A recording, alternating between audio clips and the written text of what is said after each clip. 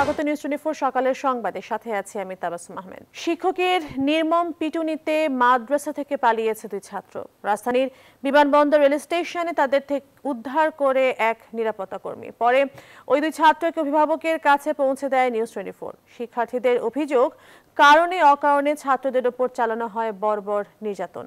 অভিযোগের সত্যতাও মিলেছে মাদ্রাসায় গিয়ে। রাবন রহমানের রিপোর্টে বিস্তারিত, ক্যামেরায় ছিলেন শেখ জালাল। রাজধানীর বিমানবন্দর রেল স্টেশন। অসহায় দুই মাদ্রাসা ছাত্র রিজওয়ান ও রাফি। ওদের সঙ্গে কথা বলতে জানা গেল মাদ্রাসার শিক্ষকদের ক্রমাগত বেত্রাঘাত থেকে মুক্তি খুঁজতেই পালিয়ে এসেছে দুইজন। চোখে মুখে ভয় আতঙ্ক।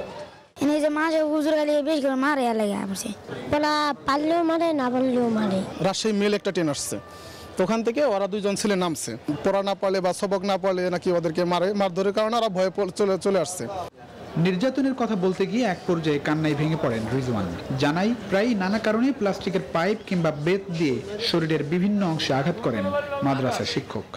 মারে তো অনেক মারে কিন্তু এমন মারা মারে কত আমার না হইল অন্যজন রে। এবার ঘুরে গেল সারে না মার দেয় অনেক মার দেয় পুত্র মার দেয় রে। বাইন্দা বিড়ায় চোখ মুখ বাইন্দা বাইন্দা বিড়ায় হাসাতে মারে মানে পাশা আঙ্গা মারে। আগে এর আগে কেউ পালাই গেছে এরকম? কয়জন গেছে এরকম পালায়? তিন চারজন মাদ্রাসা থেকে পালায় চলে গেছে? সে পায়ের মাঝে শিকল লাগায় আবার অনেক গাছের মোটাও আহ, শরীরে দিয়ে দেয়। ইসলামের মধ্যে এরকম নাই যে মারার কোনো অধিকার নাই। আপনি মারধর খাইছেন? হ্যাঁ আমি মার দূর খাইছি অনেকেই খাইছি। পরে রাফির বাবার সঙ্গে যোগাযোগ করা হলে বিমানবন্দর রেল স্টেশনে ছেলেকে নিতে আসেন তিনি। আনতে মারা তোমাকে?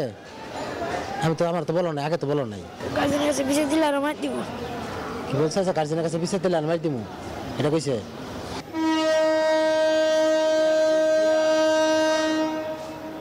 না আমার তো মনে হয় না যে মিথ্যা কথা অবশ্যই মারছে। না মারলে তো বলতো না। তাদেরকে সঙ্গে নিয়ে টঙ্গীর শিল্পাঞ্চল এলাকায় যায় নিউজ টোয়েন্টি সেখানে আসেন রিজওয়ানের বাবা। বিশ্বাসই করতে চান না তার ছেলের মাদ্রাসায় এরকম পেটানো হয়। মারে। কবে মারছে তোমাকে? তুমি মিথ্যা কথা বলতেছো? না কাইসা বুঝুর আছে না। হ্যাঁ। মাইনা বসা বানাইছি কারিশা বুজুর মারছে? পড়া না বলে তো মারবে তোমাকে। তুমি তো কিছু বললা না আমাকে। ভয় ভয় দেখে বলিনি। ভয় বলো নাই। তার মানে আপনার বিশ্বাস হচ্ছে না বিষয়টা তো? না অবশ্যই অবশ্যই না। আয়না দেওয়ার জন্য ধন্যবাদ। আসেন বাড়িতে যাবা? বাড়িতে পাঠা দেবো সমস্যা নাই। আমি তো নতুন দিয়েছি এই প্রতিষ্ঠানে কারণ আমি তো জানি না এই বিষয়গুলি। শেষমেশ দুই মাদ্রাসা ছাত্রকে তাদের অভিভাবকের কাছে বুঝিয়ে দেয় নিউজ টোয়েন্টি এবার রিজওয়ান রাফির মাদ্রাসায় নিউজ টোয়েন্টি এর ক্যামেরা। ভেতরে ঢুকতেই বেদ হাতে দেখা গেল মাদ্রাসা শিক্ষককে। একটা বেদ আর কি। কীভাবে বেত দিয়ে? এই করি আর কি। করেন? এই রাগ দমক দেয় আর কি। তো মার দেওয়ার দরকার নাই এমনি পালাই গেল এরা? এমনি দিয়ে গেছে। ওইটা হাতে আসলাম আসার পরেই আপনার এটা হাতে। এটা তো কেমন হলো ওইটা উস্তাদের হাতে থাকলে ছাত্র একটু ভয় পা ওই আর কি আর কিছু না। কোনো ছাত্রদেরকে দমক অথবা কোনো মার্সের কাউরে এখনও দেওয়া হয় নাই কোনো কিছু বলাও হয় নাই। হাতে তো বেত দেখলাম। না আমাদের হাতে কোনো বেত নাই এখনও। ওনার হাতে বেত পাইছি আমি আশায়। ওনার হাতে বেত থাকলে হয়তো একটা ছোট থাকতেও পারে কিন্তু আমাদের হাতে বেত নেই নাই আর কি। টঙ্গীর শিল্পাঞ্চল এলাকার এই বিসমিল্লা নোরানি মাদ্রাসায় বর্তমানে শিক্ষা নিচ্ছেন একশোর বেশি শিক্ষার্থী। Plabon Rahman, news twenty four Tongi, Gazipur. Omicron আতঙ্কের মধ্যে দেশে করোনা ভাইরাস আক্রান্তের সংখ্যা এক সপ্তাহে ষাট শতাংশ বেড়েছে মৃত্যু বেড়েছে বিয়াল্লিশ শতাংশের কাছাকাছি। একদিনে সংক্রমণ ধরা পড়েছে পাঁচশো সাতান্ন জনের। নমুনা পরীক্ষার তুলনায় শনাক্তের হার বেড়ে পৌঁছেছে বারো সপ্তাহের মধ্যে সর্বোচ্চ। রোববার সকাল পর্যন্ত নতুন শনাক্তদের নিয়ে মোট রোগীর সংখ্যা দাঁড়িয়েছে পনেরো লাখ আটষট্টি হাজার ছিয়াশি হাজার চারশো ছেষট্টি জনে। চব্বিশ ঘন্টায় একজন সহ মোট আঠাশ হাজার সাতাত্তর জনের মৃত্যু হয়েছে। স্বাস্থ্য দপ্তরের হিসেবে চব্বিশ ঘন্টায় সুস্থ হয়েছেন দুইশো তিপ্পান্ন জন। তাদের নিয়ে মোট পনেরো লাখ উনপঞ্চাশ হাজার পাঁচশো সাতান্ন জন সুস্থ হয়েছেন। একদিনে নমুনা পরীক্ষা হয়েছে উনিশ হাজার একশো ত্রিশটি। এ পর্যন্ত পরীক্ষা হয়েছে এক কোটি পনেরো লাখ পঁচিশ হাজার আটশো বত্রিশটি নমুনা। চব্বিশ ঘন্টায় নমুনা পরীক্ষা অনুযায়ী শনাক্তের হার দুই দশমিক নয় এক শতাংশ।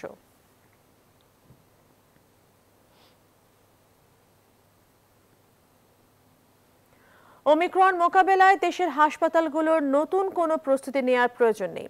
এমনটি বলেছে হাসপাতাল কর্তৃপক্ষ। আগে ডেল্টা ভ্যারিয়েন্টের অভিজ্ঞতাকে কাজে লাগিয়ে যে কোনো ভ্যারিয়েন্ট মোকাবেলায় প্রস্তুতির কথা জানান তারা।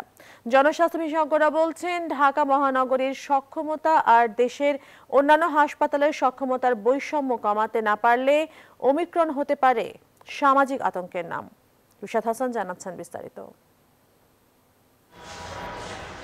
করোনার ওমিক্রন ভ্যারিয়েন্ট ছড়িয়ে পড়েছে বিশ্বের শতাধিক দেশে। এর মধ্যে পার্শ্ববর্তী দেশে শনাক্ত হয়েছে অসংখ্য রোগী। গেল প্রায় দুবছরের তথ্য বলছে, বাংলাদেশে করোনা রোগীর চাপ সামাল দেওয়াটা বরাবরই বড় চ্যালেঞ্জ। যদিও বর্তমানে দেশের সকল হাসপাতালে পৃথকভাবে কোভিড নন কোভিড চিকিৎসা হয়, রয়েছে মহাখালী ডিএনসিসির মতো কোভিড ডেডিকেটেড হাসপাতালও। হাসপাতাল কর্তৃপক্ষ বলছে, ওমিক্রন মোকাবেলায় প্রস্তুতি নেওয়ার প্রয়োজন না থাকলেও এরই মধ্যে নির্দেশনা দেওয়া হয়েছে মন্ত্রণালয় থেকে। কোভিড নন কোভিড আলাদা করা আছে। যেহেতু সংখ্যাটা আমাদের অনেকটা কম ছিল কোভিডের সংখ্যাটা সেই কারণে আমরা কিন্তু সাধারণ বেডের সংখ্যাটা বাড়িয়েছি। আমাদের আগের বেডগুলো কিন্তু আছে। চাইলে কিন্তু যদি সংখ্যাটা কখনো বাড়ে, তাহলে কিন্তু সেইটা আমরা ট্রান্সফার করতে পারব কোভিডের মধ্যে নন কোভিড বেডটাই সুরক্ষা সামগ্রী যেগুলো, সেগুলো অলরেডি আমরা সাফিসিয়েন্ট এনে রেখেছি। এছাড়া আমাদের যেমন অক্সিজেন কনসেন্ট্রেটর আমরা কিন্তু আগে যেমন অক্সিজেন কনসেন্ট্রেটর এছাড়াও আমরা প্রায় একশো দেড়শো আরও বেশি এনে রেখেছি। এছাড়া আমাদের আইসিউর আইসিউর যে প্রস্তুতি, সেটা আমরা নিয়ে রেখেছি। স্বাস্থ্যসেবা বিভাগের তথ্যমতে, ঢাকা মহানগরীতে সরকারি বেসরকারি কোভিড শয্যা সংখ্যা সাড়ে চার হাজারের বেশি, সাড়ে সাতশো আইসিইউ, চারশো তেইশটি এইচডিউ ছয়শো উনিশটি high flow nasal cannula, oxygen concentrator রয়েছে দুশো পঁয়ত্রিশটি। পাশাপাশি সারা দেশের তথ্য বলছে সাড়ে তেরো হাজারের বেশি কোভিড শয্যা, বারোশো উনিশটি আইসিইউ, সাতশো আটটি এইচডিউ ও হাইফ্লো রয়েছে দু হাজার উনিশটি। জনস্বাস্থ্য বিশেষজ্ঞরা বলছেন, সারা দেশের সাথে মহানগরের দৃশ্যমান এই পার্থক্য তৈরি করতে পারে সামাজিক আতঙ্ক। অন্তত স্বস্তি পেতে পারে যে তাদের হাসপাতালগুলো করোনাকালীন জরুরি অবস্থায় স্বাস্থ্যসেবা দেওয়ার জন্য পূর্ণ প্রস্তুত রয়েছে। তা না হলে কিন্তু লোকজনের মধ্যে আতঙ্কটা এক ধরনের সামাজিক আতঙ্কে পরিণত হতে পারে। বিশ্বব্যাপী ওমিক্রন ব্যাপক সংক্রমণ ঘটালেও হাসপাতালে ভর্তি রোগীর সংখ্যা কম হওয়ার খবরে স্বস্তির কোনো অবকাশ নেই বলছেন জনস্বাস্থ্য বিশেষজ্ঞরা। ওমিক্রন প্রতিরোধে রাজধানীর যে কোভিড ডেডিকেটেড হাসপাতালগুলো রয়েছে সেগুলো নতুন করে প্রস্তুতি নেবার তেমন কোনো প্রয়োজন নেই বলছে হাসপাতাল কর্তৃপক্ষ। অপরদিকে বিশ্বব্যাপী করোনার ওমিক্রন ভ্যারিয়েন্টের যে সংক্রমণ তার ভাবাচ্ছে স্বাস্থ্যসেবা বিভাগকে। Rishad Hasan news twenty Dhaka. বিশ্বব্যাপী দাপিয়ে বেড়াচ্ছে করোনার নতুন ভ্যারিয়েন্ট ওমিক্রন। প্রতিদিনই ভাঙছে সংক্রমণের রেকর্ড। একদিনের ব্যবধানে সংখ্যা বেড়ে হচ্ছে দ্বিগুণ। বাংলাদেশে এই প্রভাব এখনও তেমন প্রকট না হলেও রয়েছে শঙ্কা। এমন বাস্তবতায় সারা দেশের হাসপাতালগুলোর প্রস্তুতি কতটা? কর্মকর্তারা বলছেন, এর মধ্যে তৈরি হয়েছে কর্মপরিকল্পনা। কিন্তু বাস্তব চিত্র কি? শামসুজ্জামান শাহিন ও রিপন হোসেনকে সাথে নিয়ে সেই বাস্তব চিত্র খুঁজে দেখেছেন কাজী সাহেদ। কোভিডের প্রথম ও দ্বিতীয় ঢেউ টালমাটাল করেছে এপ্রিল মে মাস জুড়ে। সেই ঝড় সামাল দিতে গিয়ে ফুটে উঠেছে হাসপাতালগুলোর কঙ্কাল সারচিত্র এখন বিশ্বজুড়ে অমিক্রমের দাপট কতটা প্রস্তুত দেশের হাসপাতালগুলো? নতুন করে আবার উঠেছে সেই প্রশ্ন। দুই বছরেও আলাদা কোনো উদ্যোগ নেই কোভিড আক্রান্ত রোগীর চিকিৎসায়। ভরসা সাধারণ ওয়ার্ডগুলোকে কোভিডে রূপান্তর। তো আমরা যেটা করি সেটা হচ্ছে যে কিছু কিছু ওয়ার্ডগুলো গ্রাজুয়ালি শিফট করে আপনাকে করোনায় রূপান্তর করি তারপর আর অন্য সেখানে করোনা রোগী রাখি। এরকম রোগী বাড়তে থাকলে আমরা ওয়ার্ডও বাড়াই। গতবার আমাদের অক্সিজেন এগুলা সেন্ট্রাল অক্সিজেন লাইন অনেক ওয়ার্ডেই আছে সেগুলো এখন আর আমাদের নতুন করে তেমন করে করতে হবে না। সব জায়গায় সচেতনতা বৃদ্ধি করা হয়েছে। কিন্তু মানুষ তো আসলে শোনে না। দেখছেন হয়তো নাইনটি ফাইভ পার্সেন্ট মানুষ মাস্ক করে না। আমরা চেষ্টা করতেছি বিভিন্ন সময় ইসে বলা হচ্ছে। রাজশাহী মেডিকেল কলেজ হাসপাতালে কোভিড রোগীর চিকিৎসায় বেডের সংখ্যা পাঁচশো তেরো থেকে নামিয়ে করা হয়েছে একশো চার। খুলনা যশোর সহ অন্য জেলা শহরগুলোর হাসপাতালেও কমানো হয়েছে শয্যা মাঝখানে করোনা কমে যাওয়ার ফলে এই প্রস্তুতি কিছুটা ঘাটতি পড়ে গিয়েছিল। এবং বিভিন্ন ওয়ার্ড যেগুলো আমরা করোনা ডেডিকেট করেছিলাম, সেই ওয়ার্ডগুলোকে আবার সাধারণ ওয়ার্ডে পরিণত করা হয়েছিল। অক্সিজেন দেওয়ার জন্য এই high flow oxygen cannula nasal cannula, VIP এই যে এগুলো আছে যে ডিভাইসগুলো আছে সেগুলো পর্যাপ্ত পরিমাণে আছে। আশা করি আমরা আমাদের পরবর্তী যদি আসেও এমন কোনো কোনো ঢেউ সেটা আমরা সফলভাবে আমরা মোকাবেলা করতে সক্ষম হবে ইনশাল্লাহ জনস্বাস্থ্যবিদরা বলছেন স্বাস্থ্যবিধি মানার ক্ষেত্রে এখন অনেক শিথিলতা দেখা যাচ্ছে যা ভয়াবহ হতে পারে। যারা এখনও টিকা পাননি তাদের দ্রুত টিকার আওতায় নিয়ে আসার কথাও বলছেন তারা। আমাদের যে সমস্ত এন্ট্রি পয়েন্টগুলো আছে সেইখানে সতর্কতা অবলম্বন করতে হবে। আর সবচেয়ে বড় যে আমাদের ইন্টারভেনশন সেইটার ব্যাপারে কিন্তু এখন রিল্যাক্স দেখছি, সেটা মাস্ক মাস্কে কিন্তু আমাদের বাঁচাতে পারে। জেলা সদরের হাসপাতালগুলোতে কোভিড রোগীর চিকিৎসা সংকুচিত করা হয়েছে আর উপজেলা হাসপাতালগুলোর বিশেষায়িত বেড এখন বন্ধ। ফলে অমিক্রণ হানা দিলে শূন্য থেকে আবার শুরু করতে হবে ব্যবস্থাপনা। Kazi Shahed news twenty Rajshahi. এদিকে করোনার নতুন ভ্যারিয়েন্ট নিয়ে বিশ্বে যখন আতঙ্ক বাড়ছে, অন্যদিকে আশার আলো দেখাচ্ছেন বিশেষজ্ঞরা। অনেকেই বলছেন ওমিক্রনের এই ধাক্কা হতে পারে করোনা বিদায়ের সূচনা। বিশেষজ্ঞরা উদাহরণও হাজির করেছেন। তারা বলছেন, একশো বছর আগের স্প্যানিশ ফ্লোর বিদায়ের সঙ্গে করোনার চরিত্র বদলের মিল খুঁজে পাচ্ছেন তারা। Masud Rana desk report. ইতিহাসের ভয়ঙ্করতম মহামারী ছিল উনিশশো আঠারো সালের স্প্যানিশ ফ্লু। রোগটি দ্বিতীয় ধাপে অনেক বেশি ভয়াবহ রূপ ধারণ করেছিল। শুধু ভারতবর্ষেই মারা যায় প্রায় এক কোটি চল্লিশ লাখের মতো মানুষ। উনিশশো একুশ সালের দিকে এসে স্প্যানিশ ফ্লুর ভয়াবহতা অনেকটা কমে গেলেও ফ্লুজনিত অসুস্থতা কয়েক দশক পরেই ফিরে এসেছে নতুন রূপে পরিণত হয়েছে সাধারণ রোগে। গবেষণা বলছে ধরন বদলানোর কারণে ভাইরাস যত দুর্বল হবে, তত কম বিপজ্জনক। আর করোনা ভাইরাস এরই মধ্যে কয়েকবার রূপ পরিবর্তন করেছে। ওমিক্রনে নতুন আক্রান্তরা কম বয়সী। আক্রান্তদের গুরুতর অসুস্থ হয়ে হাসপাতালে ভর্তি হওয়ার ঝুঁকিও ডেল্টার চেয়ে অনেকটাই কম। আর বিশেষজ্ঞরা স্প্যানিশ ফ্লুর বিদায়ের সঙ্গে করোনা চিত্র বদলের মিল খুঁজে পাচ্ছেন। प्रीवियस वेव और इस वेव में मेरे को लगता है कि ये मैसेज करता है कि डरने की ज़रूरत नहीं है। नंबर वन उन्होंने कहा कि इन्फ्लुएंजा लाइक इलनेस या यू लाइक सिम्टम्स हैं। ये ओमिक्रॉन के अंदर सिंपली 30 परसेंट केसेज के अंदर आ रहे हैं as compared to previous wave जिसमें 90 परसेंट लोगों में यूआरआई लाइक सिम्टम्स थे। दूसरा हॉस्पिटल एडमिशन है, वो ओमाइक्रॉन में सिग्निफिकेंटली रिड्यूस हैं। বিশ্ব স্বাস্থ্য সংস্থার প্রধানও আশা করছেন দুই হাজার বাইশ সালে করোনা ভাইরাস মহামারী হার মানবে। সমীক্ষার দাবি ওমিক্রন ভ্যারিয়েন্টটি তার শক্তি খুয়ে ক্রমশ এক সাধারণ সংক্রমণের চেহারা নেবে কমবে মৃত্যুহারও তবে পাশাপাশি সংশ্লিষ্ট সব মহল এখনও সতর্কতা অবলম্বনের কথাও জোর দিচ্ছেন। মাসুদ রানা নিউজ টোয়েন্টি স্বল্পোন্নত দেশ থেকে উন্নয়নশীল কাতারে বাংলাদেশের উত্তরণ হঠাৎ করেই হয়নি। সুনির্দিষ্ট পরিকল্পনা আর তার সুষ্ঠু বাস্তবায়নের ফলেই তা সম্ভব হয়েছে। রোববার সকালে বঙ্গবন্ধু আন্তর্জাতিক সম্মেলন কেন্দ্রে উন্নয়নশীল দেশে উত্তরণ উদযাপন অনুষ্ঠানে এসব কথা বলেছেন প্রধানমন্ত্রী শেখ হাসিনা। জানান, একচল্লিশ সালের মধ্যে দেশকে উন্নত রাষ্ট্রের তালিকায় নিয়ে যেতে অনেক বাধা আসবে তা অতিক্রম করেই এগিয়ে যাবে বঙ্গবন্ধুর স্বপ্নের সোনার বাংলা। শাহ আলী জয়ের প্রতিবেদন।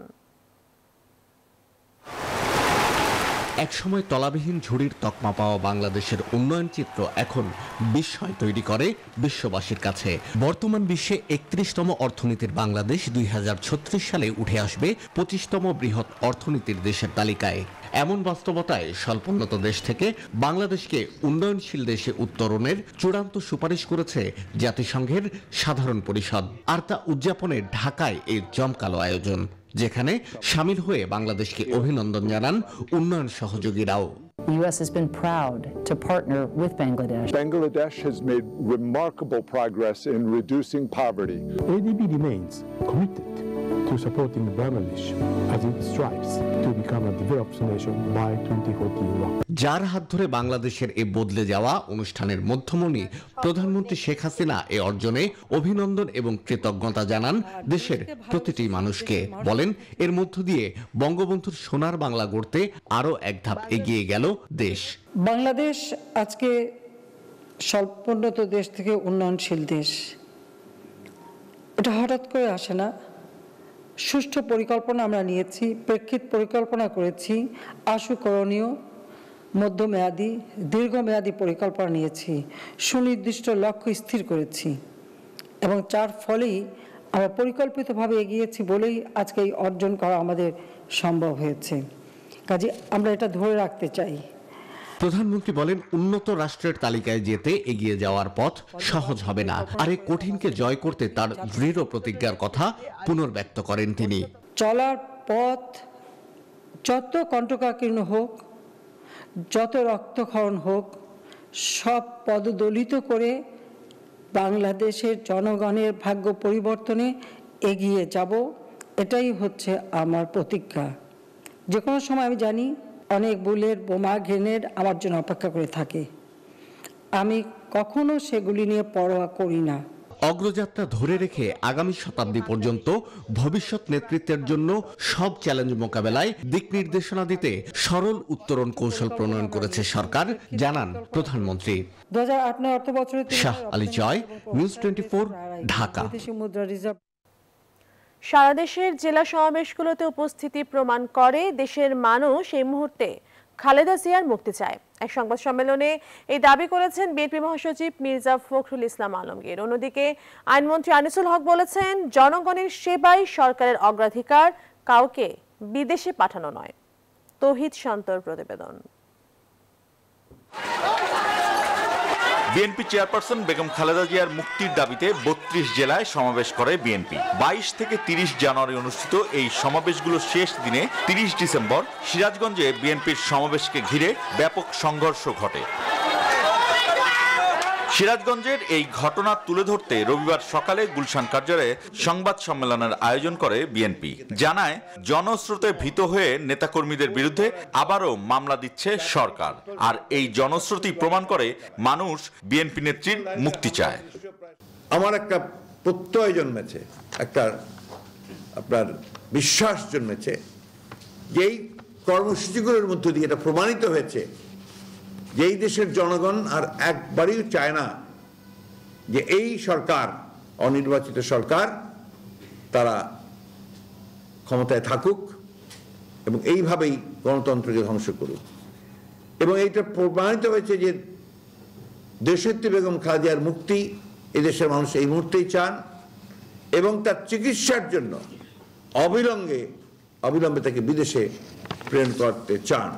তবে খালেদা জিয়ার চিকিৎসা এই ইস্যুতে আন্দোলনের চেষ্টা না করে রাষ্ট্রপতির সংলাপে বসার জন্য বিএনপির প্রতি আহ্বান জানিয়েছেন আইনমন্ত্রী। রবিবার সকালে সচিবালয়ে সাংবাদিকদের তিনি একথা বলেন।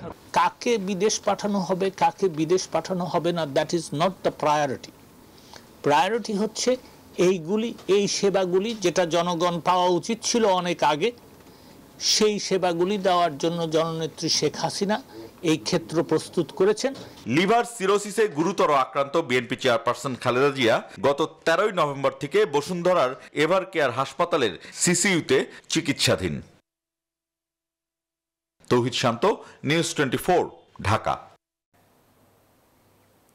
র্যাবের সাবেক ও বর্তমান কর্মকর্তাদের ওপর মার্কিন প্রশাসনের নিষেধাজ্ঞা পুনর্বিবেচনা চেয়ে দুই সপ্তাহ আগে দেওয়ার চিঠির উত্তর। এখনও মেলেনি। রোববার দুপুরে সিলেটে এক অনুষ্ঠানে কথা জানিয়েছেন পররাষ্ট্রমন্ত্রী এ কে আব্দুল মোমেন। বলেন, হত্যা, গুমের বিষয়ে অবহিত করা হয়েছে ওই চিঠিতে, যেখানে বলা হয়েছে বাংলাদেশের এমন ঘটনা নিতান্তই কম। সম্পর্ক এবং বেশ উত্তম সম্পর্ক এবং আমাদের বিভিন্ন ডায়ালগের আমাদের কি আছে? আলোচনার স্কোপ আছে। আমরা কিছু না জেনে হঠাৎ করে এটা আমাদের দেশের জন্য মানুষ এটা খুব সারপ্রাইজ আমরা unexpected there is a scope for examining the issue তা আমরা সেই কথাটাই আবার চিঠিতে লিখেছি। হ্যাঁ যে, যেগুলো ওনার সাথে আলাপ হয়েছে সেইগুলো নিয়ে উনি তখন ডেমোক্রেসির কথা বলেছিলেন। পঞ্চম ধাপের সাতশো সাতটি ইউনিয়ন পরিষদের নির্বাচনে ভোট পাঁচ জানুয়ারি। আজ শেষ হচ্ছে তার প্রচার প্রচারণা। ভোটের দিন যত ঘনিয়ে আসছে, ততই ব্যস্ততা বাড়ছে প্রার্থীদের। এই নির্বাচনেও আওয়ামী লীগ সমর্থিত প্রার্থীরা নৌকা প্রতীকে ভোট করলেও বাকিদের অধিকাংশই স্বতন্ত্র প্রার্থী। আর সে কারণেই নির্বাচনকে ঘিরে সংঘাত সংঘর্ষ চলছেই। ভোটারদের মন জয় করতে সরকারের উন্নয়ন তুলে ধরার পাশাপাশি নানা প্রতিশ্রুতি দিচ্ছেন নৌকা প্রার্থীরা। এদিকে নির্বাচনেও স্বতন্ত্র প্রার্থীদের একটি বড় অংশ আওয়ামী লীগের বিদ্রোহী প্রার্থী।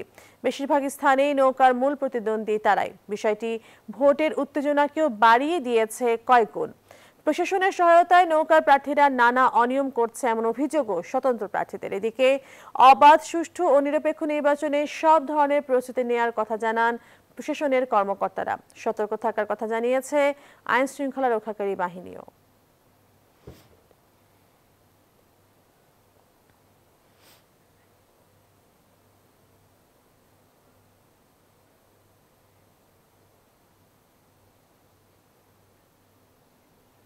নারায়ণগঞ্জ সিটি নির্বাচনে এবার প্রথমবারের মতো সব কেন্দ্রে ভোট হবে ইলেকট্রনিক ভোটিং মেশিন ইভিএম এ। এই সিদ্ধান্তকে স্বাগত জানিয়েছেন আওয়ামী লীগের মেয়র প্রার্থী ডাক্তার সেলিনা হায়াত আইপি। তবে ইভিএম এ ভোট সুষ্ঠু হওয়া নিয়ে সংশয় প্রকাশ করেছেন স্বতন্ত্র মেয়র প্রার্থী অ্যাডভোকেট তৈমুর আলম খন্দকার। যদিও নির্বাচন কমিশনার মোহাম্মদ রফিকুল ইসলাম অভয় দিয়েছেন ইভিএম এ কারচুপির সুযোগ নেই। নারায়ণগঞ্জ থেকে দিলীপ কুমার মন্ডলে পাঠানো তথ্য ছবিতে ডেস্ক রিপোর্ট। পোস্টারে ছেয়ে গেছে প্রাচ্যের ডান্ডি। নারায়ণগঞ্জ এখন প্রচার উৎসবের শহর। উদয় থেকে অস্ত কখনো বা গভীর রাতেও চলে প্রতিশ্রুতি হাঁকডাক রবিবার সকালে নগরীর চার নম্বর ওয়াবদা ক্যানেল থেকে গণসংযোগ শুরু করেন আওয়ামী লীগের মেয়র প্রার্থী সেলিনা হায়াত আইভি। বলেন নৌকায় যে আস্থা আছে তা থাকবে আসন্ন নির্বাচনেও। ইভিএম এ ভোটের সিদ্ধান্তকেও স্বাগত জানান তিনি। নিউ টেকনোলজিকে আমাদের স্বাগত জানাতেই হবে।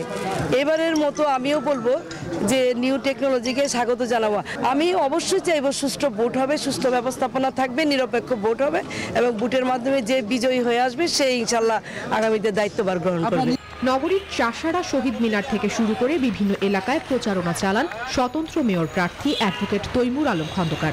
যদিও তার সংশয় ইভিএম এ ভোট নিয়ে। আমি স্বতন্ত্র হিসেবে দাঁড়া- দাঁড়াচ্ছি। আমি সবার সাথে বসতে রাজি আছি। জনগণের স্বার্থে কারণ নির্বাচন করছি।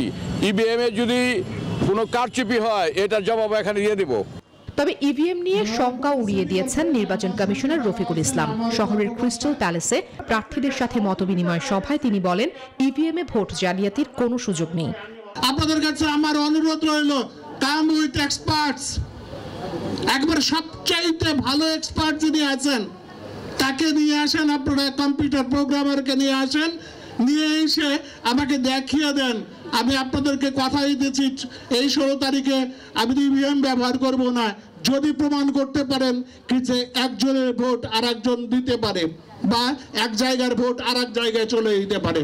দু হাজার এগারো ও দু হাজার ষোলো সালে নারায়ণগঞ্জের কয়েকটি কেন্দ্রে ইভিএম ভোট হলেও ষোলো জানুয়ারির নির্বাচনে সাতাশ ওয়ার্ডের একশো বিরানব্বইটি কেন্দ্রেই ভোট হবে ইলেকট্রনিক ভোটিং মেশিনে। Desk report news twenty four পৌষের মাঝামাঝি এসে তীব্র শীতে কাবু উত্তরের বাসিন্দারা। এ নিয়ে আরও খবর জানাতে দিনাজপুর থেকে আমাদের সাথে সরাসরি যুক্ত হচ্ছেন সহকর্মী ফখরুল হাসান পলাশ। পলাশ দিনাজপুর যেহেতু একদম উত্তরের একটি অঞ্চল সেক্ষেত্রে সেখানে শীতের তীব্রতা কেমন দেখছেন আর ছিন্নমূল মানুষ যারা আছেন তাদের কি অবস্থা?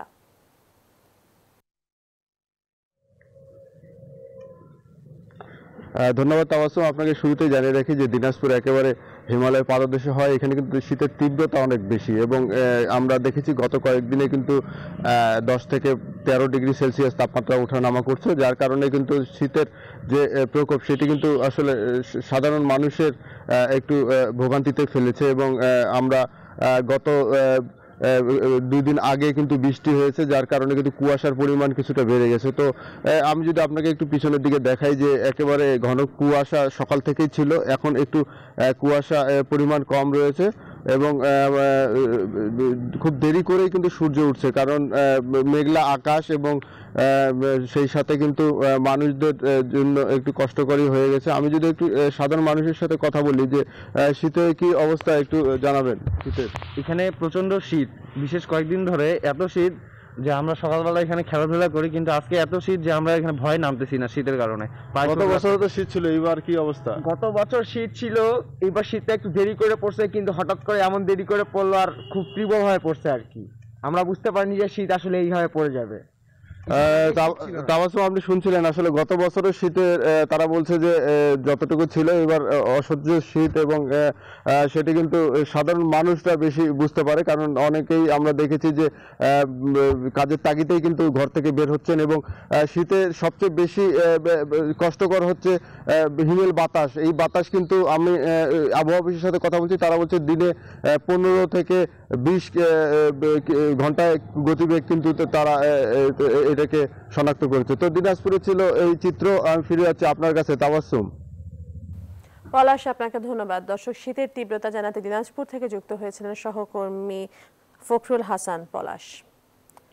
শীর্ষ দুই নেতাকে ছাড়াই নির্বাচন কমিশন গঠন নিয়ে রাষ্ট্রপতির সঙ্গে আলোচনা সেরেছে গণফোরাম এবং বিকল্পধারা বাংলাদেশ। রোববার সন্ধ্যায় দল দুটি বঙ্গভবনের রাষ্ট্রপতির সঙ্গে আলাদাভাবে সংলাপে অংশ নেয়। গণফোরাম সভাপতি কামাল হোসেন সংলাপে যাননি ছিলেন না বিকল্পধারার সভাপতি এ কিউ এম বদরুদ্দোজা চৌধুরীও। রাষ্ট্রপতির সঙ্গে এই আলোচনায় রোববারে প্রথমে বসে গণফোরাম, দলের নেতৃত্ব দেন নির্বাহী সভাপতি মোকাব্বির খান। বিকল্পধারার সাত সদস্যের প্রতিনিধি দলের নেতৃত্ব দেন মহাসচিব আব্দুল মান্নান। বি চৌধুরী না গেলেও তার ছেলে দলের মুখপাত্র মাহি বি চৌধুরীও প্রতিনিধি দলে ছিলেন।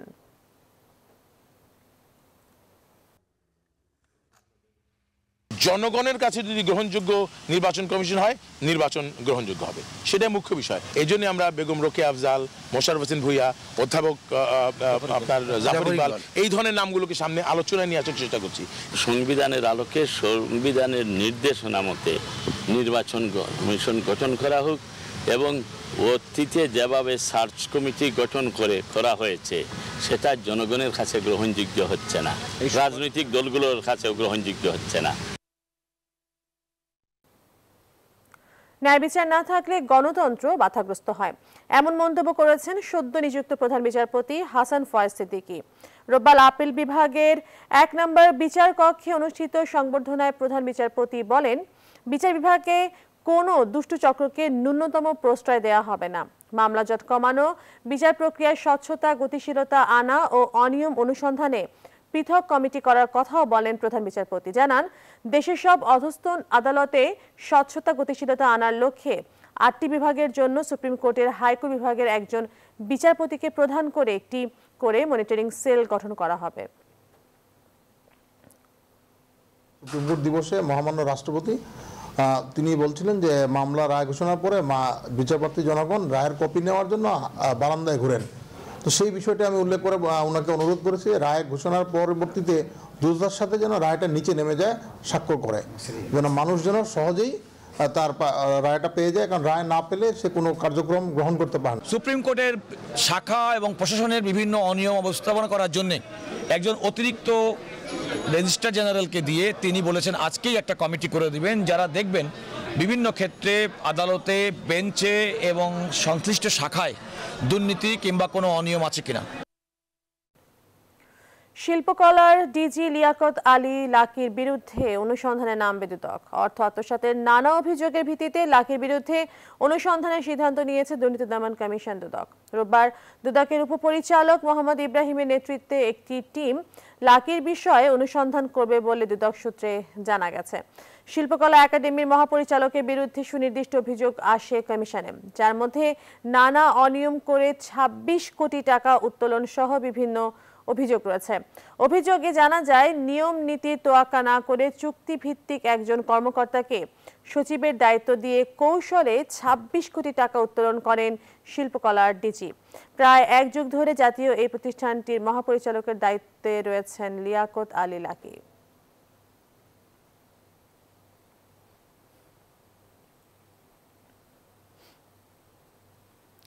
কক্সবাজারের উখিয়ার কুতুপালং রোহিঙ্গা ক্যাম্পে অগ্নিকাণ্ডের ঘটনা ঘটেছে। এতে আইওএম পরিচালিত একশো শয্যার করোনা হাসপাতাল ও রোহিঙ্গাদের বিশটি ঘর পুড়ে গেছে। পুলিশ ও ফায়ার সার্ভিস কর্মীরা জানায়, রোববার সন্ধ্যা সাড়ে সাতটার দিকে বিশ নং ক্যাম্পের বর্ধিত অংশে অবস্থিত করোনা হাসপাতালে আগুন লাগে। প্রাথমিকভাবে ধারণা করা হচ্ছে, বৈদ্যুতিক শর্ট সার্কিট থেকে আগুনের সূত্রপাত। এতে রোহিঙ্গাদের জন্য তৈরি করোনা হাসপাতাল সহ আশেপাশের বিশটি ঘর পুড়ে যায়। পরে খবর পেয়ে দুই ঘণ্টার চেষ্টায় ফায়ার সার্ভিস কর্মীরা আগুন নিয়ন্ত্রণে আনে। এর আগে হাসপাতালে চিকিৎসাধীন বারো জন রোগী ও চারজন কর্মচারীকে নিরাপদে সরিয়ে নেওয়া হয়, এতে কেউ হতাহত হননি।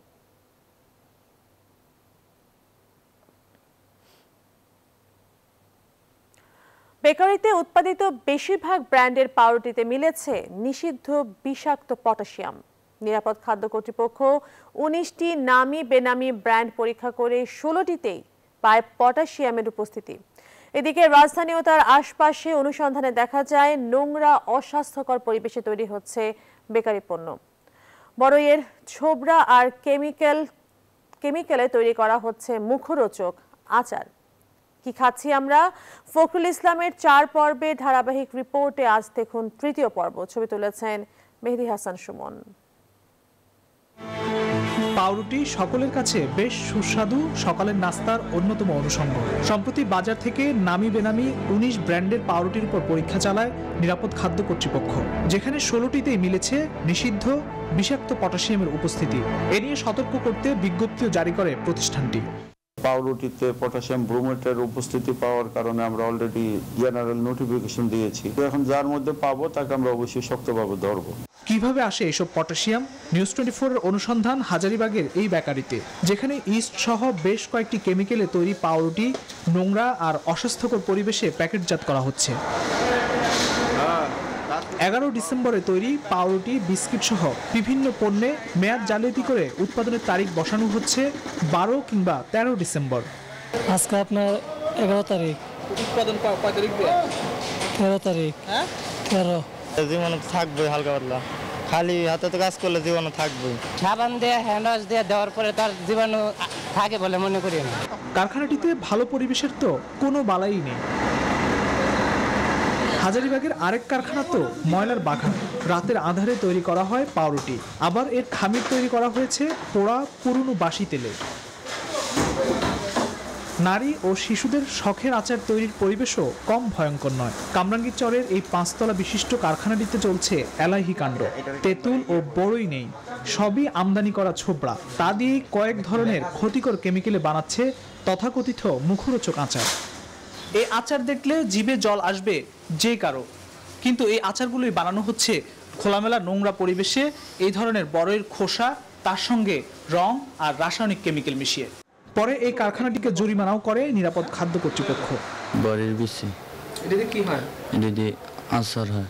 আমি সাইটিক দিচ্ছি রং দিচ্ছি। অভিযান চলে ঘুরে ফিরে চলে ভেজাল খাদ্য তৈরির কর্মযজ্ঞ। এক্ষেত্রে কঠোর মনিটরিং জোরদারের আহ্বান বিশেষজ্ঞদের ফখরুল ইসলাম নিউজ টোয়েন্টি ঢাকা। সৈয়দ আশরাফুল ইসলাম, নির্লোভ, নির্মোহ আর ক্ষণজন্মা রাজনীতির সিদ্ধ পুরুষ। ছিলেন সততা আর আস্থার প্রতীক।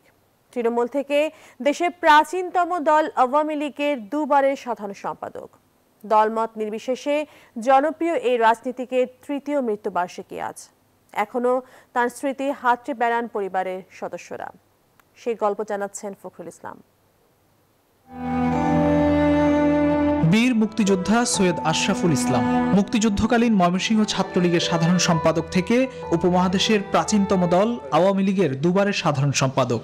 হয়েছিলেন কিশোরগঞ্জ এক আসনে উনিশশো থেকে টানা পাঁচবারের সংসদ সদস্য। তিনবারের মন্ত্রিত্বে সামলেছেন জনপ্রশাসন, স্থানীয় সরকারের মতো গুরুত্বপূর্ণ মন্ত্রণালয়। ওনার একটা কথা কিন্তু খুবই মানে আবেগ ঘন একটা কথা আছে যে আওয়ামী লীগ একটা অনুভূতির নাম। যে সৈয়দ আশরাফ নিজে কিন্তু একটা অনুভূতি। কম কথা বলে এত কিছু প্রকাশ করতেন যে এটা ধারণা করা যায় না। সৎ পরিশ্রমী এবং নিবেদিত প্রাণ রাজনৈতিক কর্মী হিসাবে যে তার যে অবদানটা রেখেছেন ওইটা আমাদের জন্য একটা অমূল্য সম্পদ ছিল। বঙ্গবন্ধুর কাছে যেমন পিতা সৈয়দ নজরুল ইসলাম ছিলেন আস্থাভাজন তেমনি শেখ হাসিনার আস্থার প্রতীক হয়ে উঠেছিলেন সৈয়দ আশরাফুল ইসলাম। ওয়ান ইলেভেনের মতো ক্রান্তিলগ্নে দলের কর্মীদের মনোবল চাঙ্গা রাখতে নিয়েছিলেন অগ্রণী ভূমিকা। তার সবচাইতে বড় অ্যাচিভমেন্ট হলো ইমার্জেন্সির সময় ডিলিংটা তার ব্যক্তিগত স্থাবর, অস্থাবর সম্পত্তি বলে কিছু কিছু নাই। সৈয়দ নজরুল এবং সৈয়দ আশরাফের মতো দুইজন মানুষকে একটা পরিবার উপহার দিয়েছে। অর্ধশত বছরের গৌরবময় রাজনৈতিক কেরিয়ারে অর্জন করেছেন সব স্তরের মানুষের ভালোবাসা। সমকালীন যে কোনো রাজনীতিকের তুলনায় নিজেকে নিয়ে গেছেন কালোত্তীর্ণ ভূমিকায়। সাদামনের একজন সৈয়দ আশরাফুল ইসলামের প্রতি অতল শ্রদ্ধা। Fakhrul Islam news twenty Dhaka. কংক্রিটের অবকাঠামো নির্মাণ শিল্পে রেডিমিক্সে প্রবেশ করল বসুন্ধরা গ্রুপ। ঢাকার দক্ষিণ কেরানীগঞ্জে Bashundhara ready mix and construction industries limited, BRMCIL নামে এই শিল্পের যাত্রা শুরু করল বাংলাদেশের অন্যতম বৃহৎ শিল্প প্রতিষ্ঠান। শনিবার কেরানীগঞ্জের হাসনাবাদে রেডিমিক্স কারখানার উদ্বোধন করেন বসুন্ধরা গ্রুপের ভাইস চেয়ারম্যান সাফওয়ান সুবহান। এ সময় তিনি বলেন আধুনিক কংক্রিট ল্যাব, দক্ষ ইঞ্জিনিয়ার ও অভিজ্ঞ উৎপাদন কর্মীর মাধ্যমে গুণগত মানসম্পন্ন রেডিমিক্স উৎপাদন করতে চায় বসুন্ধরা গ্রুপ। এর আগে ফিতা কেটে প্রকল্পটির শুভ উদ্বোধন করেন তিনি। এরপর পুরো প্রকল্প এলাকাটি ঘুরে দেখেন। এ সময় সাফান সোভান আরও বলেন, দেশের ক্রমবর্ধমান উন্নয়নের অন্যতম অংশীদার বসুন্ধরা শিল্পগোষ্ঠী বাণিজ্যিকভাবে রেডিমিক্স সরবরাহ শিল্পে যুক্ত হলো।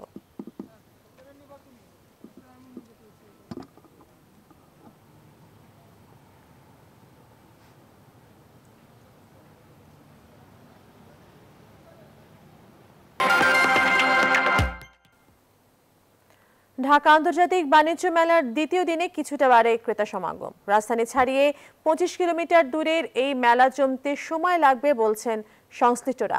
বিশেষ করে যাতায়াতের দুর্ভোগের কথা চিন্তা করে অনেক রাজধানীবাসী মেলায় আসতে উৎসাহ পাচ্ছেন না বলছেন ক্রেতারাই।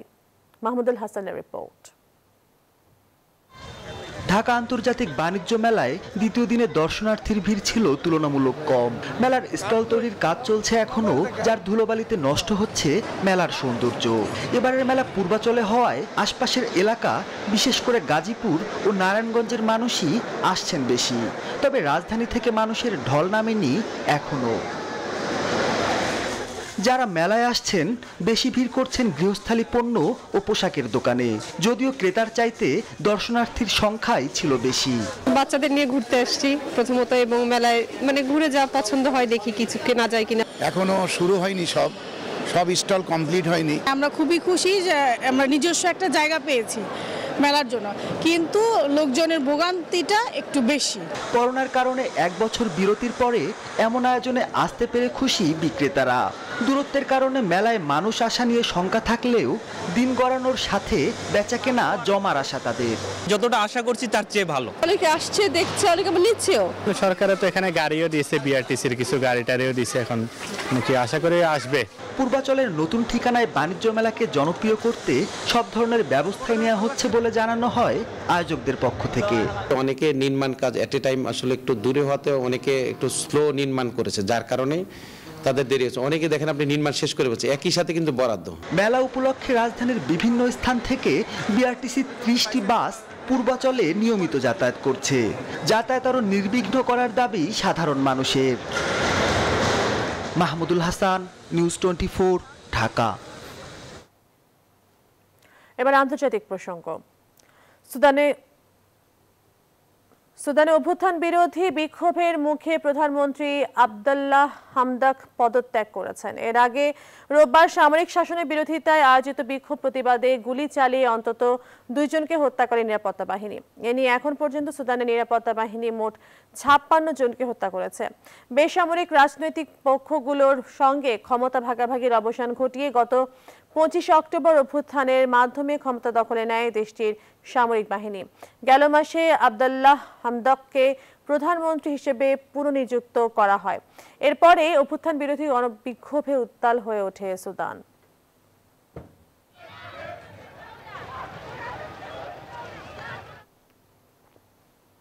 ইসরায়েলে এক নতুন করোনার ধরন সন্ধান দিয়েছে দেশটির গবেষকরা। করোনার সঙ্গে ইনফ্লুয়েঞ্জা জুড়ে নতুন আরেকটি রোগের সৃষ্টি হয়েছে। ডাক্তারি ভাষায় যার নাম দেয়া হয়েছে ফ্লোরোনা। ইসরায়েলের এক অন্তঃসত্ত্বা নারী এই রোগে প্রথম আক্রান্ত হয়েছেন বলে তথ্য পাওয়া গেছে। গেল এক সপ্তাহে ইসরায়েলে ইনফ্লুয়েঞ্জার সংক্রমণ আচমকাই বেড়েছে। শুধু গেল সপ্তাহে দেশটিতে এতে আক্রান্ত হয়ে হাসপাতালে ভর্তি হয়েছেন এক হাজার আটশো উনপঞ্চাশ জন। ইনফ্লুয়েঞ্জার পাশাপাশি শরীরে করোনা ভাইরাস আঘাত হানলে তা অনেক ক্ষেত্রে মারাত্মক হতে পারে বলে জানিয়েছেন চিকিৎসকরা।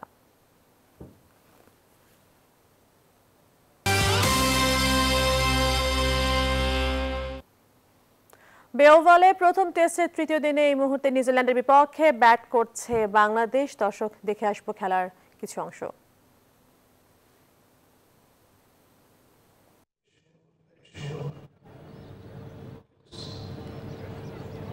Hold on.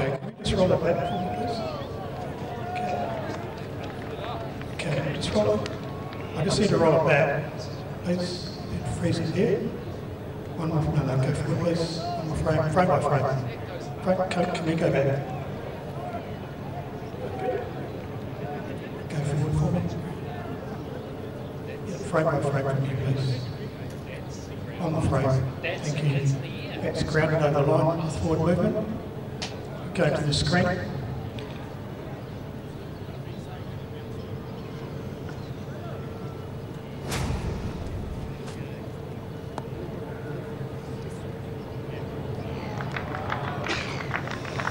Wow. I was. I was. I don't know. Did the bat can bounce up so long as at some point in time it is grounded behind the line. And then it can bounce up. That's fine. Know. Was that bat grounded at any point? I thought it bounced up before it made its ground. Yeah, it looked like just the just the toe maybe just snuck over the line before bouncing. This is another look at it. It just opened the face on it, ran the first one really nonchalantly. Thought it was four probably, did Mominot. And then Dust came back for the third. Nice little dive there. That's where I reckon Rigger. Just about there. Is that grounded? I suppose. Benefit of the doubt always goes to the batter. I, I'm sorry, I'm, I'm hot on what happened before that though, and I just think it takes time out of the game. Is did it go for forward? France giant Paris Saint Germain পড়েছে corner থাবা। আক্রান্ত হয়েছেন দলের প্রাণভ্রমরা Messi সহ চার footballer. এ খবর নিশ্চিত করেছে ক্লাবটি। মেসির সঙ্গে আক্রান্ত বাকি তিন ফুটবলার হলেন জুয়ান বার্নেট, সার্জিও রিকো ও নাথান বিটু মজলা আক্রান্ত সবাই আছেন আইসোলেশনে। আজ কোপা ডি ফ্রান্সে ভিন্নাসের বিপক্ষে ম্যাচ আছে পিএসজির। এর আগে এমন খবরে ম্যাচটি মাঠে গড়ানো নিয়ে দেখা দিয়েছে শঙ্কা।